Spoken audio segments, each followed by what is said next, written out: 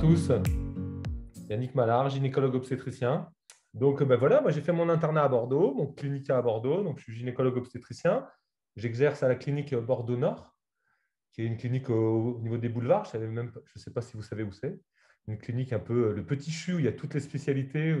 C'est une grosse clinique privée. Et euh, donc voilà, j'ai choisi cette spécialité bah, en passant dans le service de gynécologie quand j'étais externe. Ça m'a bien plu. Et je me suis dit, ben, je vais bien faire ça plus tard. Et donc, j'ai réalisé ce projet. Donc, un internat à Bordeaux, un clinique à Bordeaux. Puis après, ben, je me suis orienté sur euh, une activité plutôt obstétricale euh, dans cette clinique à Bordeaux-Nord. Donc, notre spécialité est très, très, très large. C'est un petit peu le... ce qui m'avait plu, moi, quand j'étais passé en stage. C'est qu'on passait euh, du coq à l'âne. On, passait, on faisait de la gynécologie med, euh, le matin, on faisait de l'obstétrique l'après-midi, puis le lendemain, on allait au bloc opératoire faire de la chirurgie gynécologique. Et puis après, on enchaînait avec de la PMA, la procréation médicale assistée. Donc je me suis dit, mais cette spécialité, elle est énorme, elle est, méga vaste. Et euh, il y a des débouchés dans le public, il y a des débouchés dans le privé. On peut exercer euh, dans un cabinet tout seul en ville. On peut exercer que l'obstétrique. On peut faire que de la chirurgie. il y a à Jean Villard, dans une clinique, euh, ils font que de la PMA. Il y a un centre de PMA. Euh, donc, euh, c'est ça qui m'a intéressé dans cette spécialité. Voilà. Donc, ben, on peut enchaîner avec les questions, puis en parler plein de, plein de choses. Donc, dans votre cursus, je crois que vous êtes obligé de passer. Hein, ça fait partie des stages obligatoires, non? Il n'y a pas ce stage obligatoire en gynéco-obstétrique? Il y a un module de gynéco D3, donc c'est en cinquième année. Ouais. Ah oui, voilà, soit pédiatrie, soit gynéco. C'est gynéco-pédia, donc euh, tout dépend de notre classement aussi. Ok. Ben, je vous conseille vivement de passer hein, à la maternité de Pellegrin. Euh, je m'en souviens, quand j'étais chef, on recevait beaucoup d'externes, il y avait beaucoup de passages. Euh, mais c'est important de passer là-bas. Ça crée des vocations. voilà, donc c'est important. Il y, a, il y, a, une bonne ambiance dans cette spécialité. Et puis, comme je le disais, il y a tellement de choses à faire, c'est tellement vaste qu'on trouve un petit peu euh, son bonheur. on n'est pas cantonné à faire que de la chirurgie, on n'est pas cantonné à faire que de, une spécialité médicale. On peut faire un peu tout. Voilà, on est un petit peu euh, multifonction. je crois qu'il y a l'ORL un petit peu qui ressemble, où on peut faire un peu de chirurgie, on peut faire de l'ORL med. Euh, il y a l'ophtalmo un petit peu. Il n'y a pas beaucoup de spécialités hein, qui peuvent associer comme ça des spécialités euh, médicales et des spécialités chirurgicales, obstétricales, échographiques. Hein. Moi, j'ai une collègue, elle a fait que de l'échographie. Elle fait le même cursus que moi, elle fait que de l'échographie. Euh, dans ma promo, il y en a une, elle fait que de la PMA, l'autre, elle fait que de l'échographie. Euh, moi, je fais quasiment que de l'obstétrique. J'ai un copain, pareil, il fait que de la chirurgie. Donc, on a tous le même diplôme. Donc, c'est vraiment vaste et on peut se surspécialiser, ce qui n'est pas le cas dans d'autres spécialités. Il y a beaucoup, beaucoup, beaucoup de postes. il y a beaucoup, beaucoup de places euh, qui vont se libérer, que ce soit aussi bien dans le public que dans le privé. Donc ça, c'est important quand vous allez choisir votre spécialité. Euh, on ne nous l'apprend jamais, ça, dans notre cursus. Jamais. Il n'y a jamais un topo en disant, ben voilà, il y a 5000 places d'obstétriciens qui vont se libérer. Il y a 200 euh, places d'hématologues. On ne vous le dit pas, ça. Mais c'est un peu les proportions. Il y a des spécialités qui sont fermées, cloisonnées. Euh, or, cette spécialité, la, gynécologie obstétrique, elle est ouverte. On peut s'installer n'importe où en France. On peut être dans le, public, dans le privé, partout. Il y a de la place partout. Toute la génération des années 60, euh, des 68 ans, là, ils sont en train de tous partir à la retraite. Alors, c'est un peu tôt pour vous, mais la génération, ça se prolonge pendant encore une dizaine d'années. Là, pendant 10 ans, ça part à la retraite. Mais il y a des places partout. Voilà. Je viens recruter là.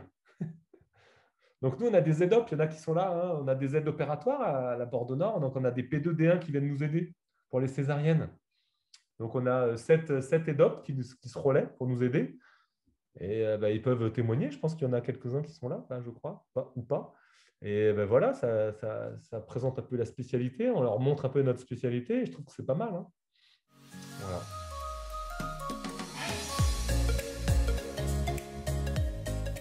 Propos de la pratique de l'obstétrique dans, le privé, ouais, quelle est la qualité de vie, les gardes? Alors ça, on, me pose beaucoup, euh, très souvent cette question.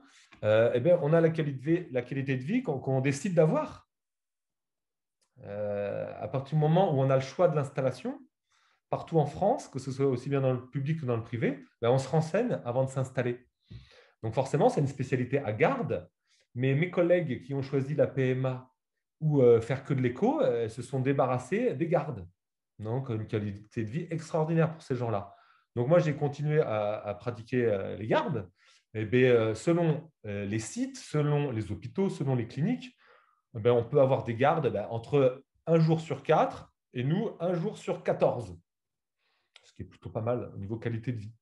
Donc moi, un jour sur 14, je suis de garde, ce qui est euh, excellent au niveau qualité de vie. Donc ben, voilà, la, réponse, c'est ben, selon, euh, euh, le centre, selon la ville, selon la région, selon le public, le privé, il y a un peu de tout, voilà, de un jour sur 3 à un jour sur 14 pour les spécialités à garde. Mais les copains qui ont choisi que de la chirurgie, ils n'ont ils ont plus de garde. Hein. Voilà, Lucas, Edouard. J'ai vu qu'il y avait des noms.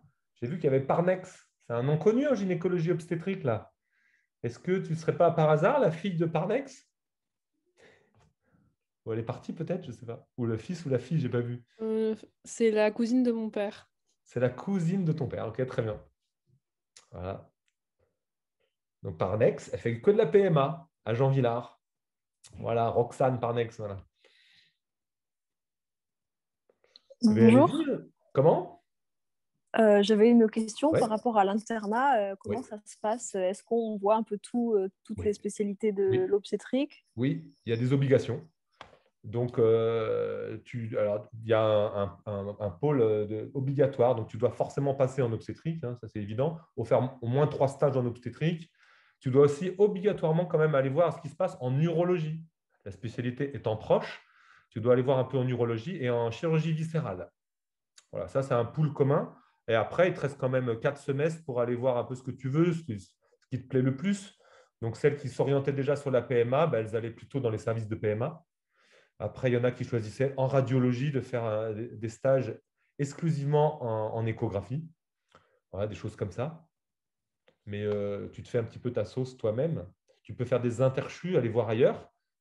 Euh, il y en a qui vont faire un stage à Paris, euh, il y en a qui vont se reposer six mois en dom-tom, euh, des choses comme ça. Quoi.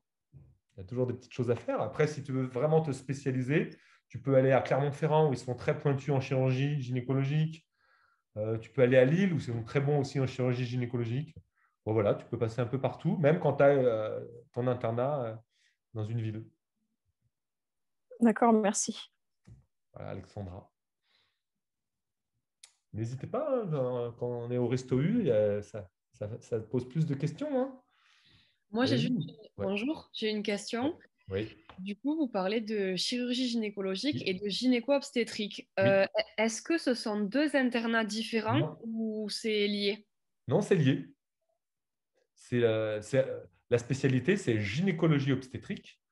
Et elle, elle, englobe tellement de choses dedans que dedans, il y a la chirurgie gynéco. Et c'est vrai qu'il y a quelques euh, frustrés, moi j'appelle ça un peu des, frustrés, qui n'ont pas eu d'autres spécialités chirurgicales par leur classement et qui vont prendre gynécologie obstétrique et qui vont faire que de la chirurgie gynéco. Ça, c'est possible. Donc, pour les frustrés qui n'ont pas eu euh, euh, l'internat de chirurgie, ils peuvent se rabattre un petit peu sur, sur, cette, sur cette spécialité qui est dans la spécialité gynécologie obstétrique. Et il y a deux internats, oui, ce que je vois là dans le message, oui, il y a deux internats différents. Il y a l'internat de gynécomed et l'internat de gynéco-ops. Mais il y a quand même une grande partie commune hein, dans, ces deux internats. Ok, merci beaucoup. Donc, c'est tout simplement, c'est historique. Avant, ça n'existait pas euh, gynécologie med, gynécologie ops. Simplement, la gynécologie med est un diplôme qui n'existe qu'en France. Euh, donc, à un moment, ils l'ont supprimé euh, dans les années 90. Ils l'ont supprimé. Et puis, ben, toutes les vieilles, entre guillemets, gynécomèdes qui avaient un ancien diplôme, au moment de partir à la retraite, elles n'ont pas pu vendre leur clientèle. Et là, on s'est dit, oh, il faut réintroduire la spécialité. Donc, pendant, je sais pas, 15 ans, il n'y a pas eu cette spécialité qui a été réintroduite. Moi, ce que je conseillerais quand même, vu que ce diplôme n'est reconnu qu'en France, c'est de vraiment prendre la spécialité, gynéco-ops, qui, elle, ouvre beaucoup plus de portes. Voilà. Après, celles, souvent des filles, hein, qui font cette spécialité de gynécomède, eh bien, finalement, elles font que de la PMA, la plupart. On n'a pas beaucoup qui s'installent en faisant juste de la gynécomède. Mais bon, voilà, c'est juste un petit conseil pour plus tard dans votre vie. Si vous avez un peu à choisir, euh, choisissez le pool commun, la gynéco-ops, qui vous permettra de faire ce que vous voulez. Alors que la gynéco-med euh, n'est pas reconnue en Europe et ne vous permettra pas de faire ce que vous voulez. Voilà. Euh, moi, j'avais une question aussi par rapport aux, gynécologues qui sont dans le libéral. Euh, quelle est la différence entre une sage-femme et un gynécologue? Parce qu'on voit de plus en plus de patients qui vont voir des sages-femmes. Qu'est-ce qui diffère vraiment par rapport à ces deux métiers du coup? Alors déjà, le nombre d'années d'études.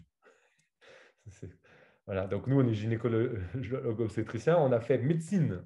Donc on a fait les six ans que tu connais, que tu es en train de faire avec l'internat. Donc, on a appris toutes les matières et on connaît à peu près tout quand on passe l'internat. Euh, les sages-femmes ne font que quatre années. Euh, c'est une spécialité à la base euh, qui est annexe, donc elle est un peu médicale. C'est très compliqué. Hein. J'en parlais tout à l'heure avec la surveillante des sages-femmes. Hein. Il y, a une grande surveillance, c'est que la responsabilité incombe aux médecins. Voilà. Les sages-femmes ont le droit de suivre des femmes enceintes et de pratiquer l'accouchement qu'à une seule condition, que tout soit normal de A à Z. C'est-à-dire si la patiente dit ben, je suis allergique à l'augmentin, c'est plus pour la sage-femme. Si la patiente dit euh, j'ai un antécédent euh, de maladie auto-immune, ce n'est plus pour la sage-femme. Si la patiente dit j'ai été opéré ou j'ai une maladie de Crohn et j'ai été opéré, ce n'est plus pour la sage-femme. Donc finalement, bah, il ne reste pas grand-chose pour la sage-femme donc, les sages-femmes sont dans des centres, donc elles sont euh, dans des cliniques ou à l'hôpital, donc elles peuvent pratiquer l'accouchement, mais à condition voilà, que tout se passe bien, que ce, soit une patiente sans antécédent, qui ne présente aucune pathologie, qui a un travail strictement normal et un accouchement strictement normal. Donc finalement, c'est assez réducteur quand même. Hein. Mais elles sont habilitées à faire ça, effectivement. Ensuite, ben, comme, je vous disais, tout à l'heure, la spécialité de gynécologie médicale a disparu pendant 15 ans. Donc, il y a un trou de 15 ans. Donc, il n'y a plus de gynécologue médical qui exerce en ville, quasiment plus. Donc, les sages-femmes se sont engouffrées dans ce vide. Donc, on leur a donné quelques autorisations sur la contraception. Donc, elles ont le droit de s'occuper de la contraception, à condition, bien sûr, qu'il n'y ait pas de problème chez la patiente. Donc, dans, les villes à désert, à fort désert médical, hein, ou les régions à fort désert médical, eh les sages-femmes ont occupé ce vide. Voilà, donc dès que vous vous éloignez un petit peu de Bordeaux, eh il y a des sages-femmes, des femmes peuvent être vues par des sages-femmes pour régler des problèmes de contraception. Mais dès qu'il y a un problème, elles nous appellent, et elles nous envoient à nous. Voilà. Et euh, le but premier des sages-femmes, c'était pas ça. Hein. C'était euh, vraiment faire des accouchements eh dans des hôpitaux, dans des cliniques. Et on a vu ces dernières années donc, euh, bah, des sages-femmes s'installer en libéral. Il y a un nouveau métier qui est apparu, sage-femme libérale. Voilà. Et du coup, pour rebondir sur ça, j'avais une question. Est-ce que les, donc les gynécologues obstétriciens qui s'occupent en général des grossesses pas normales, j'ai envie de dire. Est-ce que du coup, euh, elle s'occupe des fois aussi, elle s'occupe des, des, grossesses normales? Tout à fait, tout à fait. Dans ma patientèle, j'ai euh, donc beaucoup de, grossesses adressées bah, par les sages-femmes libérales à l'extérieur, mais à Bordeaux, ce n'est pas tout à fait la, pareil. On est encore une ville médicalisée, hein. on n'est pas trop un désert médical. Donc les patientes enceintes bah, elles prennent rendez-vous avec moi ou elles prennent rendez-vous à l'hôpital directement et elles sont suivies à l'endroit où elles vont accoucher. Donc, dans ma patientèle et dans la patientèle de tous les praticiens de l'hôpital, eh il y a des grossesses normales. Voilà. Oui, oui, on suit des grossesses normales et des grossesses pathologiques. Ok, super, merci. Et on fait, moi, moi, moi une journée type, une semaine type, c'est ce qu'on me demandait quand, je venais présenter. Euh, moi, euh, j'ai, on va dire, euh, les trois quarts de ma patientèle, c'est des femmes enceintes. Et j'ai un autre quart eh de gynécomèdes, de contraception, de la pose de stérilet, de l'ablation de stérilet. Et puis, j'avais une après-midi par semaine de chirurgie. Alors, je suis en train de, la garder, mais c'est de plus en plus difficile. Mais j'avais euh, une après-midi où je faisais des petits actes de chirurgie. donc, on faisait des hystéroscopies, on, met une caméra dans l'utérus dans les problèmes d'infertilité, ou ligature de trompe sous célioscopie. Donc, on met des clips chez des patientes qui ne peuvent pas avoir de contraception ou qui désirent avoir une contraception définitive. Je leur mettais des clips sur les trompes. Donc, j'avais ma petite activité chirurgicale le jeudi après-midi. J'avais six demi-journées de suivi de femmes enceintes et une demi-journée de gynécomède. Voilà, c'est à peu près ma semaine, huit demi-journées. Et comme je suis papa de trois enfants, ben, je me suis gardé mon petit mercredi tranquille pour m'occuper de mes enfants. Voilà, ça existe en 2021 en France. MeToo. donc voilà, donc euh, moi c'est huit demi-journées, mon petit mercredi, et puis euh, ma petite garde euh, tous les 14 jours. Voilà mon quotidien. Ma qualité de vie qui est plutôt pas mal. Et j'avais une question aussi. je ne sais pas si la spécialité s'y prête beaucoup, mais est-ce que c'est possible de faire de la recherche en gynéco-obstétrique? C'est une bonne question. à l'hôpital, tu as le professeur Brun euh, Jean-Luc Brun, que tu rencontreras peut-être dans ton cursus, qui lui vraiment a, fait plutôt un cursus de, recherche. Ouais. Mais c'est n'est pas facile. Hein. Il y a plutôt des bâtons dans les roues. Mais euh, les, agrégés, là, Loïc Santil, qui est un agrégé avec qui je m'entends très bien, qui, est la même génération que moi, qui est à Pellegrin, là, euh, ben, il a une petite activité de recherche, il publie. Donc, est-ce que publier, c'est de la recherche? Bah, Ah oui, un peu quand même. Donc oui, il peut y avoir une activité de, recherche, mais de recherche pure scientifique avec le microscope, ce n'est pas vraiment la spécialité quand même. Et il faut plus. Euh, bah, ma femme est biologiste, c'est pour ça qu'elle connaît Marie-Élise. Et, donc, elle, oui, elle, elle est plutôt avec son microscope, elle est bactériologiste, elle fait de la recherche, elle publie sur de la recherche pure, quoi. Hein. Voilà. Ok, merci beaucoup. Si vous avez d'autres questions, n'hésitez pas. Oui, bonjour. Euh, moi, j'avais une question concernant euh, la plastie. J'ai entendu euh, dire que les gynéco-obstétriques pouvaient faire une plastie reconstructrice des seins, notamment après des cancers du sein. Tout à fait. Est-ce que également, ils pourraient potentiellement dans l'avenir faire les, trans? Ou c'est uniquement réservé aux plasticiens? Non, non, c'est plus bah, Jean-Luc Brun, il était Moi, alors, je suis passé dans un service à Paris où il faisait des, des trans. Et en général, c'est des équipes pluridisciplinaires. Et il y a Brun, à Bordeaux, on a une école, hein, euh, d'opération des transsexuels. Et Jean-Luc Brun euh, est l'héritier de ça. Ben, j'en parlais en tant que chercheur, mais il est aussi chirurgien. Et euh, c'est souvent des équipes pluridisciplinaires. Et ce n'est pas réservé aux, plasticiens purs hein, pour les transsexuels. non, non, il suffit de s'y intéresser, ce qui n'est pas évident. mais il y a des gynécos qui font ça. Et puis, euh, les reconstructions, bah, tout à fait. Euh, il y a plein de gynéco-obstétriciens qui ont le même diplôme que moi. Moi, je ne sais absolument pas faire, mais eux, ils savent faire. Ils sont allés dans les services, ils sont allés dans les centres anticancéreux et ils se sont formés à faire de la reconstruction. Donc, oui, oui, avec le diplôme de gynécologue obstétricien, on peut faire de la reconstruction dans les cancers du sein. Voilà, j'ai des collègues qui sont à Bergognier et qui font ça et qui ont le même diplôme que moi. Donc, euh, j'ai oublié de le dire, hein, on peut faire être cancérologue, gynécologue, avec le même diplôme euh, de gynécologue obstétricien. Voilà. Donc oui, c'est vrai, Alice, tu as. Est-ce qu'il y a d'autres questions? Oui, moi du coup, je me demandais, est-ce que, euh, enfin, par rapport à ce que disait Alice, est-ce que cette chirurgie justement des seins, c'est quelque chose qui rentre euh, dans l'internat et que vous faites, enfin, que tous les internes vont pouvoir voir? Ou est-ce que c'est quelque chose sur lequel il faut se, se surspécialiser après ou, euh, Alors, il faut, ben, dans tes deux, on va dire, je sais pas, tu as deux stages où tu fais ce que tu veux, et ben, tu, vas, tu, les mets, tu vas en centre anticancéreux. Ouais, tu te dis, tiens, moi, ça me plaît, ça. Et puis, très vite, euh, tu fais une petite option. Quoi. Tu vas aller voir dans les centres anticancéreux. Et puis, si ça te botte bien, euh, tu vas refaire un centre anticancéreux. Et puis après, tu vas postuler pour rester dans un centre anticancéreux. Donc, dans ton internat. Mais comme vous, dans votre externat, euh, vous passez de stage en stage, et puis il y en a un qui va vous plaire, et vous dites, ça c'est cool. Voilà, et ben, c'est ce qui m'est arrivé. Voilà, et euh, ben, vous, ça va vous arriver. Ça, c'est l'externat. Et après, ben, dans l'internat, c'est un peu la même chose. Euh, dans tous les stages, ah, ce truc, il me plaît bien dans, cette spécialité. Et c'est pareil dans, en chirurgie viscérale. Il y en a, ils vont faire que du foie. Il y en a, ils vont faire que du côlon. il y en a, ils vont se spécialiser dans le rectum. Dans les cancers du rectum, on peut se surspécialiser dans chaque spécialité. Ok, merci. moi, je pense que c'est l'avenir. Hein. Et d'ailleurs, c'est ce qui se passe. Hein. Tous les copains, nous, on a un peu la génération, on a commencé à se surspécialiser. Et puis, vraiment, bah, pour être bon, il faut un peu se spécialiser quand même, se surspécialiser. Bah, avant, les chirurgiens, ils faisaient tout. Hein. Ils faisaient l'ortho, du viscéral, et on en a encore quelques-uns, ils vont tous partir à la retraite, hein, mais ils faisaient tout. Moi, j'ai connu des chirurgiens, ils faisaient tout. Ils faisaient un fémur, puis ils enchaînaient avec un côlon, puis ils faisaient un sein. Ben, ça n'existe plus, ça, hein, c'est fini. Voilà, ils sont en voie de disparition, hein, ceux-là. Donc après, ben, on s'est dit, attends, on va faire que, des orthos.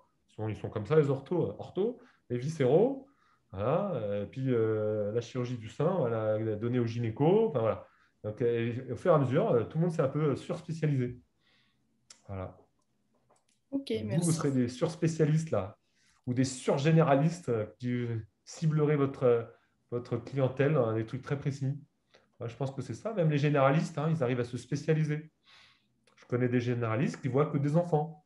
ils ne sont pas pédiatres, mais ils sont généralistes et ils voient que des enfants. Ça s'est fait tout seul. Et voilà. Et puis, il y a même des généralistes qui, qui vont voir euh, beaucoup de gériatrie. Voilà, ils aiment bien ça. Donc, euh, même dans la spécialité de médecine générale, il y a possibilité ben, de s'orienter dans des choses très précises. Il y a des, euh, généralistes qui font que des veines, là, qui sont phlébologues. Ils sont généralistes. Eh ben, ils se sont spécialisés dans la veine du membre inférieur et ils sont phlébologues. Donc, tous, vous avez quasiment tous, même si vous allez être généraliste, ben, vous spécialisez dans votre spécialité. Voilà l'avenir, voilà ce qui vous attend. Et vous serez bon. Et on vous attend, je recrute si vous voulez. Dans 10 ans, vous pouvez venir, il y aura de la place. Vous êtes tous en quoi En P2 là C'est quoi P2 C'est de deuxième, troisième année? Enfin maintenant c'est PACES, machin, truc bidule. Mais vous êtes tous en deuxième, troisième année à peu près là? Ou il y a des plus vieux? Il devrait y avoir deuxième, troisième année et des externes. Ok. Très bien. Mais n'hésitez pas à me poser encore des questions. C'est maintenant. Bonjour. Vous m'entendez? Oui, très bien. Euh, non, moi, je voulais savoir. Euh, enfin, je dois choisir l'année prochaine et euh, en fait, j'ai peur de pas gérer quand, par exemple, ben, il y a des morts néonatales ou que ben, la vie de la mère est en danger. Enfin, le stress que ça engendre et je peux pas savoir maintenant comment je vais le vivre. Et... Tu as raison. Bah, voilà, du coup, je voulais savoir. Ça s'apprend, tout s'apprend. Ça s'apprend. Euh, tu, dans ton internat, tu peux t'encadrer de gens qui vont te donner des conseils, qui vont t'aider. Euh, ça se transmet quand même. On a une spécialité où on transmet. Donc, vous allez avoir des internes plus vieux que vous qui vont vous transmettre. Vous allez avoir des chefs de clinique qui vont vous transmettre. Vous allez avoir des vieux PH vont vous transmettre. Vous allez avoir des infirmières et des infirmiers qui connaissent parfaitement le métier, qui vont vous transmettre des choses. Eh bien, ça s'apprend, ça. Tu ne peux pas savoir dès maintenant si tu vas gérer ou pas. Tu vas t'en rendre compte au fur et à mesure. Et il y a toujours possibilité, pendant les deux premières années, de faire un remords, de changer de spécialité. J'ai vu ça. Hein. Moi, j'en ai deux dans, ma, dans mon année ben, qui se sont rendus compte qu'ils n'arrivaient pas à gérer ça. Et euh, ben, il y en a une qui a changé de spécialité et l'autre, non, l'autre, elle a fait de la PMA, que de la PMA. Elle s'est dit au moins, je ne verrai pas de bébé mourir et de maman mourir. Donc, je vais faire de la PMA. Euh, oui, oui, mais tout s'apprend. Euh, regarde, je suis sûr que tu es capable de faire des trucs là que, que, tu n'étais pas capable de faire au lycée. Donc, ça s'apprend tout ça. Voilà. Moi, au lycée, je n'étais pas capable de faire un accouchement. Hein. Donc euh, voilà, et à gérer le stress, bah, ça, s'apprend. Tu verras, ça s'apprend très bien. Hein. Et puis tu peux te faire encadrer de, dans tous les services, il y a des psychologues, tu peux leur demander des conseils. Euh, dans, voilà, non, franchement, euh, tu, vas vite t'en rendre compte. Hein. Tu vas vite t'en rendre compte. Voilà. Justement, j'avais une question par rapport à ça. Quand il y a des cas comme ça qui arrivent, est-ce que vous arrivez, euh, une fois que vous rentrez chez vous, à essayer de faire la part des choses Oui, c'est un, peu la même chose, oui. oui. ça s'apprend. Ça s'apprend, oui, ouais, ça s'apprend. il y a des méthodes hein, pour ça, de relaxation, de centre d'intérêt. quand je sors de garde, ben, je vais à la piscine. voilà, parce que comme ça, ben, j'oublie tout. Et puis, voilà, il y en a qui vont courir, il y en a qui vont faire du vélo, il y en a qui vont au cinéma. ça s'apprend aussi, ça s'apprend de décompresser et de faire la part des choses. Euh, vous allez tous hein, dans votre carrière euh, rencontrer des, bah, drames, des, choses horribles, mais si vous avez bien fait votre travail, eh bien, vous avez bien fait votre travail. Hein. Euh, donc ça, il va falloir vite l'analyser et apprendre à analyser ça avec des supérieurs, avec des, plus vieux que vous. Et une fois que vous avez analysé ça, que, ben, on a une obligation de moyens, hein, on n'a pas une obligation de résultat. Donc à partir du moment où vous vous êtes donné tous les moyens, vous avez fait les choses dans les règles de l'art, vous avez fait les choses comme on vous l'a appris, et puis ben, ça s'est mal terminé, ça s'est mal terminé, en aucun cas vous êtes responsable. Donc euh, voilà, il faut être consciencieux, sérieux, ça aussi ça s'apprend. Et puis il faut savoir décompresser. Hein, donc euh, je sais décompresser. Moi j'amène mes aides opératoires, sont, il y en a certains qui sont là. Euh, et ben, après avoir fait plein de césariennes avec moi, il y a une coutume, je les emmène tous les ans. Soit on fait un escape game, et soit on, fait, euh, on va faire du surf, là, il y a un surf bar à Bordeaux, là. On va faire du surf à Bordeaux dans un bar. Ou alors, après, il y a la fameuse euh, le resto entre côtes, hein, donc ça, ça, s'apprend. On va décompresser tous ensemble, faire un bon resto euh, et complètement oublier le quotidien. Et ça, c'est important de transmettre ça, qu'il y a des activités annexes, qu'il n'y a pas que le travail, que c'est hyper important de bien travailler, mais qu'après, c'est hyper important de ne pas travailler, de faire autre chose, d'avoir d'autres centres d'intérêt. Voilà. Du coup, je vais poser une question. Je euh, du coup, j'avais posé une question dans le chat. Euh, ah, euh, mais je vais, il n'y a pas de souci. C'était par, rapport à la, pratique de l'obstétrique dans le privé aussi, toujours cette question. vu qu'on quitte la maternité de niveau 3, qui quand même regroupe les cas les, qui m'apparaissent les plus intéressants en tout cas, est-ce qu'on ne perd pas justement. Alors, le, niveau, c'est une histoire de prématurité.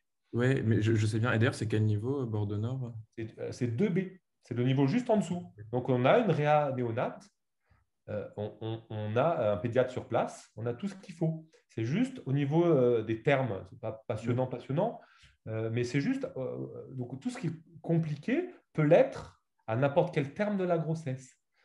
juste entre, c'est juste en semaine d'aménorrhée, donc entre 26 et 33, c'est réservé au niveau 3. Donc, s'il y a un problème gravissime à 28 semaines, une rupture de la poche des os, effectivement, on doit transmettre à un niveau 3. Mais euh, s'il y a quelque chose de gravissime qui se passe à 34 semaines, eh ben, c'est nous qui gérons. Voilà.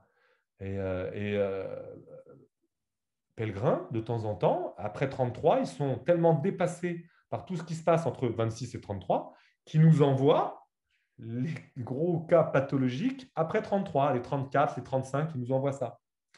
Donc, on, ne, perd pas la main, on est toujours euh, frais et dispo pour accueillir les grosses pathologies, simplement juste une histoire de prématurité après 33. Voilà. D'accord, d'accord. Ben, en fait, c'est tout l'aspect euh, libéral qu'on n'a pas. C'est pour ça que je pose pas mal de questions. C'était aussi, du coup, euh, dans le privé, les accouchements physio, c'est les sages-femmes qui les font c'est les ça dépend ça dépend euh, des, centres, ça dépend des villes, ça dépend euh, du praticien, ça dépend de la sage-femme, ça dépend de plein de choses. J'avais cette discussion tout à l'heure avec euh, la, surveillante sage-femme qui, n'arrive pas à recruter de sage-femme, hein, mais c'est national, hein, c'est partout en France. Il manque d'infirmières, il manque d'aides-soignants, il manque de médecins, il manque de tout, partout, même à Bordeaux.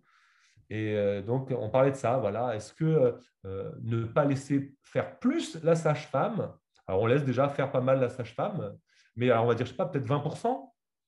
Déjà, ce qu'il faut savoir, c'est qu'en France, il y a 25% de césariennes. Donc déjà, 25% bah, césariennes. Il y a 15-20% euh, d'extraction instrumentale. Donc, utilisation de forceps, de ventouses. Vous avez entendu tous parler de ça, de spatules. Donc, en, gros, il y a 50%, c'est de la pathologie hein, déjà. Donc déjà, voilà, euh, un, accouchement sur deux, bah, c'est le médecin, obligatoirement, partout en France. Et donc, on parle des 5 autres, autres pourcents. Eh ben, selon les établissements, euh, voilà, selon l'expérience du médecin, moi, à 3 heures du matin, quand on me réveille et qu'on me dit bah, tout se passe bien, je dis à la sage-femme, eh ben, vas-y, fais l'accouchement, mais je suis là quand même. C'est ma responsabilité. Donc la sage-femme fait l'accouchement, tout se passe bien, et ben, je retourne me coucher. Tout le monde est content. La patiente est contente, euh, l'accouchement s'est bien passé, la sage-femme est contente, euh, elle a fait l'accouchement, et moi je suis content, je vais me recoucher. Voilà. Donc il y a des compromis à avoir, mais c'est seulement sur 50%. 50 autres bah, c'est systématiquement le médecin déjà. Voilà, donc ça dépend, euh, voilà, comme je te le disais, de la région, de l'horaire, de la patiente, euh, du contrat qui a été établi. Moi, j'ai certaines patientes, elles viennent me voir, elles me disent, moi, je veux absolument que ça soit vous. Alors moi, je leur dis, bah, ça va être moi, mais aux heures ouvrables. Hein. Il y a certains dimanches, ce n'est pas moi. La nuit, ce n'est pas moi. Elles comprennent très bien. Par contre, si c'est en journée, elle accouche à 16 heures et je suis là, euh, là, ce n'est pas la sage-femme qui va faire l'accouchement. C'était un deal qu'on avait ensemble. Elle m'a dit, c'est aujourd'hui, il est 16 heures, j'accouche en journée, vous êtes là, je suis là. Voilà, ça c'est l'activité libérale. À l'hôpital, c'est un peu différent. Mais j'ai des copains qui font à l'hôpital, à Pellegrin, du libéral. Il y a possibilité de faire du libéral à l'hôpital. Il y a un contrat qui s'établit entre la patiente l'obstétricien, et elle dit bah, Moi, je veux que ce soit vous qui fassiez l'accouchement. Et bien, de la même manière, euh, l'obstétricien va se rendre disponible au milieu de sa journée pour aller faire l'accouchement à Pellegrin. Ça existe, ça. Donc voilà, c'est un compromis euh, générationnel, régional, euh, un peu partout en France. Tout le monde a ses petites méthodes de travail. Voilà. Lucas, hein, Lucas, j'ai répondu à ta question? C'est parfait, merci. Et d'ailleurs, bah, je continue, hein, vu que j'ai le euh, toujours dans la pratique dans le privé, il n'y a pas trop de procès, parce que j'avais entendu qu'avec les anesthésistes, les gynécologues, c'est ceux qui ramassaient plus de procès. Du coup, ça se passe comment? Tout à fait. Ça, c'est vrai, mais il faut relativiser. C'est en moyenne, en moyenne, un procès tous les 10 ans. Voilà. Donc, euh, finalement, dans une carrière, euh, moi, ça fait 10 ans que je suis installé, ben, j'ai eu un procès. voilà et je vais en avoir deux autres, ça va, ça va bien se passer. Ça va, ça va aller. Euh, surtout que c'est des gens souvent pas contents euh, pour des raisons futiles et qui portent plainte. Euh, voilà, alors c'est un peu emmerdant, hein, mais on a une bonne assurance tous et on a des bons avocats qui nous défendent très, très bien. Voilà. Donc c'est pas finalement c'est pareil un peu alors un peu moins les autres, on va dire que c'est peut-être un procès tous les 20 ans, je ne sais pas, dans les autres spécialités. Mais nous, c'est un tous les 10 ans. Hein. Donc, il faut relativiser pas. Voilà, comme je le disais tout à l'heure, hein, à partir du moment où tu fais bien ton travail, euh, il y a quelques personnes qui vont t'embêter, mais euh, sans conséquence aucune.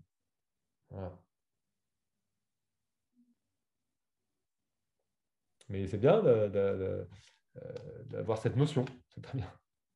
Mais c'est moi, pareil, moi je m'attendais à des trucs horribles, je m'attendais à un procès par mois, tellement on m'avait prévenu des trucs de folie c'est pas du tout ça. Euh, il y a des chiffres hein, qui sont euh, euh, obtenables sur les, assureurs. Les assureurs, ils disent, bah voilà, il y a 5000 obstétriciens, ils font une carrière de 30 ans, et finalement, il y a ça comme procès. Finalement, ça fait un procès tous les 10 ans par praticien. Donc, c'est pas...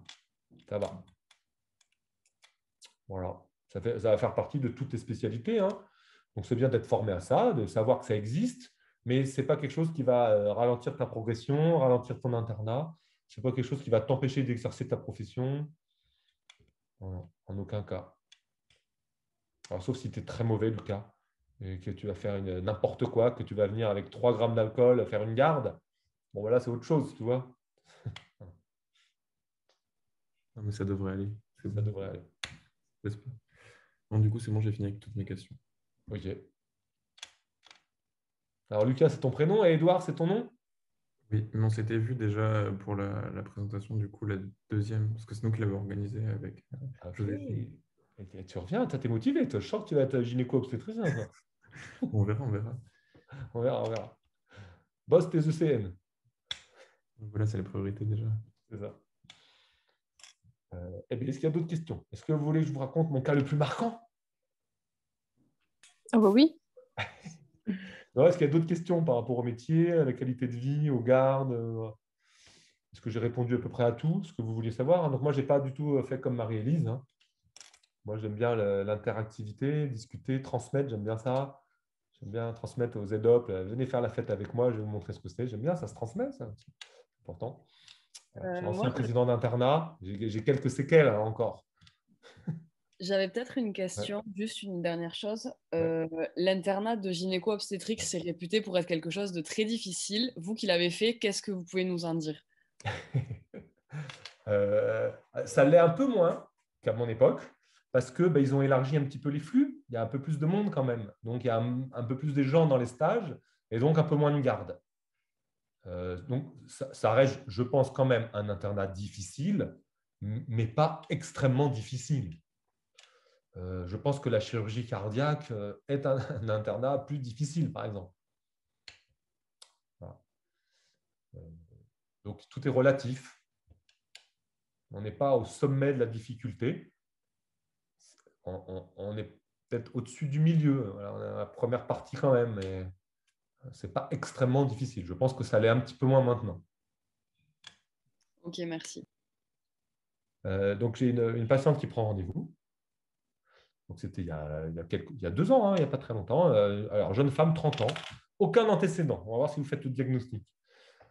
Aucun antécédent. Elle prend rendez-vous et euh, par téléphone au niveau de ma secrétaire et elle dit Je prends un rendez-vous, euh, peut-être une grossesse. Je ne sais pas, elle dit. alors, ma secrétaire, qu'elle a l'habitude de dire, elle dit Mais quelles sont la date de vos dernières règles? Et elle dit La date de mes dernières règles, c'est il y a huit mois et demi. Alors, ma secrétaire a dit Bon, ok, allez, je vous donne le rendez-vous, vous venez, et vous verrez avec le docteur Mallard. Donc, la patiente, euh, trois jours, euh, ma patiente, ma secrétaire l'a quand même rajouté discrètement, euh, pas en urgence, mais bon. Donc, elle la rajoute trois jours après. Donc, la patiente arrive à l'accueil, comme je vous vois, là, comme toi. Elle arrive, 30 ans, aucun antécédent, rien. Physiquement, comme vous, jeune fille, rien à signaler. OK Et euh, voilà, je suis euh, Madame Machin, j'ai rendez-vous avec Monsieur Mallard. Oui, ok, très bien. Ma secrétaire la voit. Elle dit bah, c'est là-bas au fond du couloir. Elle s'assoit, je l'appelle. Donc elle est normale, je la vois. Rien, rien ne m'évoque aucun diagnostic. Hein. Et elle me dit voilà, euh, bah, j'ai plus mes règles depuis huit mois et demi. Et je viens vous voir pour ça. Je dis ok, est-ce que vous avez fait un test de grossesse? Non. Ok. Est-ce que vous avez des problèmes de santé? Non. OK. Euh, vous travaillez? Oui. Euh, je suis, euh, elle, était intégrée socialement. Elle travaillait. Voilà, elle ne fumait pas, elle ne buvait pas d'alcool. Elle travaillait tous les jours. Et là, elle, sortait de son travail. j'ai dit, OK. Bon, j'ai dit, c'est étonnant quand même. Oui, vous avez des signes, quelque chose? Non. Je viens parce que je n'ai pas de règles depuis huit mois et demi. Donc, vous verrez dans vos cours, hein. La liste est longue. Hein aménorrhée, il y a beaucoup de choses quand même. Hein. Euh, donc, je dis, bah, je vais bah, faire une écho quand même. Je vais commencer par une écho. OK, donc elle s'allonge. C'est une histoire vraie. Hein. Elle s'allonge, elle se met devant moi. Je ne vois rien de particulier. Donc, avant de faire l'échographie, je l'examine. Je ne vois rien de particulier. Euh, et euh, j'ai dit, bah, je vais vous faire une écho. Alors, est-ce qu'il y en a, est-ce qu'il y en a qui ont une idée du diagnostic? Déni Je vous ai quand même mis un peu la puce à l'oreille. Donc, effectivement, voilà, le diagnostic est. Donc, je pose donc, je, un peu d'expérience, une dizaine d'années d'expérience quand même. Hein. Je pose mon, ma sonde d'échographie et je vois un fœtus hmm, de 3 kilos, une grossesse de 8 mois et demi. Et là, je lui dis, Madame, vous êtes enceinte. Elle me dit, mais non, euh, je ne suis pas enceinte. Mais si, vous êtes enceinte de 8 mois et demi. Je fais quelques mesures, je lui montre. Et là, son ventre, il sort. Elle, elle prend conscience qu'elle est enceinte et son ventre, il sort. Elle n'est plus du tout comme quand elle s'est allongée. C'est-à-dire que là, je vois l'utérus, euh, quelque chose d'irréel. C'est X-File, c'est irréel. Et euh, voilà, elle me dit, mais moi, il est hors de question que je garde cet enfant. Euh, euh, cortiqué, hein Elle dit, ah, donc c'est ça un déni de grossesse? Je dis, oui, c'est ça un déni de grossesse. Elle me dit, mais moi, dans ma tête, je ne suis pas enceinte. Le vrai déni de grossesse. Donc, ce n'est pas possible que je puisse accueillir cet enfant puisque je ne suis pas enceinte dans ma tête. Très bien, il n'y a, aucun souci, hein. mais il va falloir quand même faire deux, trois examens. Donc, je lui prescris deux, trois examens. Et là, elle sort de ma consultation avec un ventre d'une femme enceinte de 8 mois et demi. Ma secrétaire est tombée. Ma secrétaire, elle a, comme ça. Elle, a fait elle a comme tombé. Elle n'a pas, pas, compris, ma secrétaire. Elle n'avait plus à parler. Elle ne savait plus quoi dire. Un vrai déni de grossesse hallucinant. C'est pas fini. Donc, euh, le déni qui va jusqu'au bout du déni. Euh, donc, elle a accouché une semaine après, euh, sous X, parce qu'en France, on peut donc accoucher sous X. Hein. donc, alors, elle n'est pas allée au travail. Elle s'est dit, je suis enceinte. Là, que ça commence à se voir. donc, elle a dit, elle a pris une semaine de vacances. Elle est venue accoucher.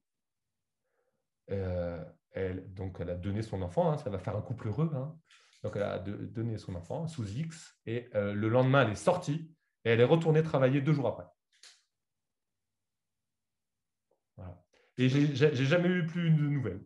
Elle n'est pas venue à la consulte du postpartum, hein, puisqu'elle n'a pas accouché dans sa tête. Voilà, le vrai déni de grossesse. Elle a, eu ses contractions, elle est venue, elle a accouché, elle n'a pas regardé l'enfant. Euh, euh, oui, ça paraît difficile, mais c'est une histoire vraie. Voilà. Belle histoire. Bon. c'est assez traumatisant. Hein. Ça, ça traumatise plus que. Je me dis, j'ai bien fait mon travail. Est-ce que j'ai tout compris? Ouais, j'ai tout compris. C'est donc ça le vrai déni de grossesse. Donc ça existe. Voilà. Le cerveau est capable de plein de choses. Hein, Mais ne me demandez pas à tout. Hein, mais je ne suis pas psychiatre. C'est assez particulier quand même. Voilà, elle a dû aller retourner bosser comme si de rien n'était une semaine après. une semaine d'absence en tout. Et puis, bon, bah, l'enfant, 3 kg 3, nickel, une petite fille en pleine forme. Et bah, ça a fait, je suivais une autre patiente qui avait plus d'utérus, qui avait eu un cancer. Et après, elle m'a dit oh, on a eu une petite fille, mais ce n'était pas celle-là. Hein. Mais j'ai fait quand même un peu dans ma tête l'association en disant eh ben, il y a un couple heureux. Il y a un couple qui a eu une petite fille, euh, parce qu'il y a un mois de surveillance euh, en pouponnière, et après, bah, après on l'attribue à un couple. Et euh, bah, il y a eu un couple heureux. Hein. Donc bah, voilà, cette histoire, elle finit bien quand même. Hein. Voilà, l'histoire. Je pourrais raconter ça, mais c'est une histoire vraie. Mais quand je la raconte, elle raconte à ma femme, hein, elle me dit c'est n'importe quoi, tu racontes n'importe quoi. Je ne raconte pas n'importe quoi. Je l'ai vécu, en vrai. Et aux urgences, ils ont ça. Euh, là, c'était vraiment assez hallucinant. Mais aux urgences, ils ont souvent des dénis de grossesse. Euh, alors, un peu plus tôt, elles arrivent à six mois parce qu'il se passe quelque chose. Voilà. madame, vous êtes enceinte de six mois.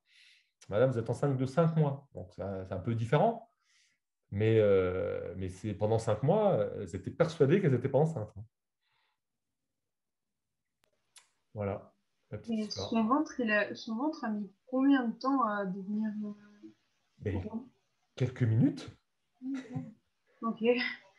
Je ne me demande pas de l'expliquer, je l'explique ah oui, pas. Mais euh, il y a une, je sais pas, une barrière, les abdos étaient contractés, je ne sais pas, elle devait avoir une.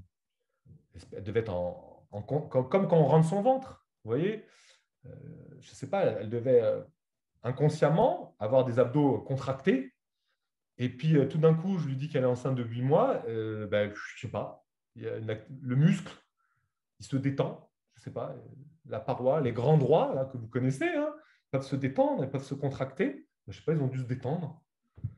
Et en quelques minutes, elle est ressortie avec un ventre de, femme enceinte. Donc euh, l'utérus, il devait basculer en arrière. Euh, c'est large la cavité abdominale, on ne dirait pas, mais pour ceux qui sont passés en chirurgie, là, euh, c'est large. Hein. Donc l'utérus, il peut être vraiment en arrière et ne pas être retenu par les abdos. Les, viscères sont complètement refoulés. Et puis au moment où je lui dis qu'elle est enceinte, bah, il y a des choses qui, des verrous qui sautent, ça se libère, distension abdominale. Et l'utérus, il se remet à la position où il aurait dû être. Et quand il y a un, déni comme ça, il n'y a pas des organes qui sont comprimés et tout s'arrange euh, Aucun signe. aucun signe. Elle aurait pu avoir euh, une constipation, ce qui est un signe fréquent chez la femme enceinte, mais elle sait qu'elle est enceinte, donc elle sait qu'elle est constipée. Euh, donc là, elle ne savait pas qu'elle était enceinte, donc elle, elle devait sûrement avoir un transit un peu ralenti quand même. Mais pourquoi pas? Je dit, bon, bah, pourquoi pas? J'ai le transit un peu plus ralenti, elle, n'y a pas prêté attention. Ça, ça fait partie de l'interrogatoire. Hein. Vous verrez, dans toutes les SP, vous allez passer l'interrogatoire. Si vous ne posez pas les questions, vous n'aurez pas les réponses. Hein. Donc, il faut euh, fouiner, interroger. Et aux urgences, hein, je leur dis, me poser la question euh, de l'aménorrhée, euh, êtes-vous enceinte enfin, Et puis, faire confiance aux tests de grossesse. C'est important. Voilà, donc nous, moi, c'est ma spécialité, hein. mais je, vois toutes les semaines euh, d'autres spécialités qui sont passées à côté. Hein. J'ai vu une patiente qui avait des douleurs abdos euh, pendant une semaine, elle a eu euh, tout scanner, machin, tout, mais tout ce que vous voulez. Elle avait vu le gastro, le rhumato, tout. Et puis elle arrive, je dis, bah, vous êtes enceinte, madame mais, personne ne me l'a dit. Bah, moi, je pense que vous êtes enceinte. Hein. Je lui fais une écho, bah oui, voilà, vous êtes enceinte elle avait vu euh, huit spécialistes. Donc, quelle que soit votre spécialité, n'oubliez pas les autres spécialités. Voilà. Et notamment aux urgences, quand vous y serez tous, euh, n'oubliez pas cette question. Date des dernières règles. Et puis, n'hésitez pas à rajouter dans le bilan biologique un petit bêta-HCG. Hein. Ça ne mange pas de pain. Ça permet de faire des beaux diagnostics avant d'envoyer la patiente au scanner ou à l'IRM ou d'appeler le gastro, bêta-HCG. Voilà. D'autres questions? euh, Oui, ça arrive d'avoir des, des dénis de grossesse comme ça avec des règles qui sont conservées? Ou... Alors, j'ai pas vu. Mais euh, il y a une espèce de, des patientes qui décrivent, ou c'est décrit dans la littérature, hein, qui disent Mais j'ai eu mes règles tous les mois. Alors, on n'était pas là pour vérifier, nous, médecins. Vous, médecins, vous n'étiez pas là pour vérifier. Donc, j'ai un petit peu de mal à y croire. Euh, je, pense que ça peut être des, des, traces de sang, ou en tout cas pas des règles normales, hein. ça c'est sûr que non. Mais euh, elle tiens, je saigne moins ce, mois-ci. Alors ça, j'en ai au quotidien. Hein. C'est-à-dire, elles arrivent, elles disent, je suis enceinte de deux mois. Et puis moi, je fais l'écho, je dis, ben non, vous êtes enceinte de trois mois. Il y a un petit mois qui s'est rajouté. Euh, ben, c'est parce qu'elles ont eu des traces de sang qu'elles ont assimilées à des règles. Elles se sont ben non, ça, c'est, pas, je ne suis pas enceinte, c'est des règles. Et elles ont fixé dans leur tête le départ à partir de, cette date-là. Mais en fait, elles étaient enceintes du, cycle d'avant. Mais quand on les interroge bien, euh, ah oui, c'était pas comme d'habitude, c'était pas la durée de d'habitude, c'était pas le flux de d'habitude. Et je dis, bah oui, puisque la grossesse, elle date d'avant. Donc vous étiez enceinte en fait. Voilà. Donc c'était pas des règles. Hein alors la, glaire cervicale peut se modifier. Il peut y avoir voilà, des pertes rosacées. Ils se disent c'est les règles, mais non, ce n'était pas les règles. Et bonne soirée à tout le monde.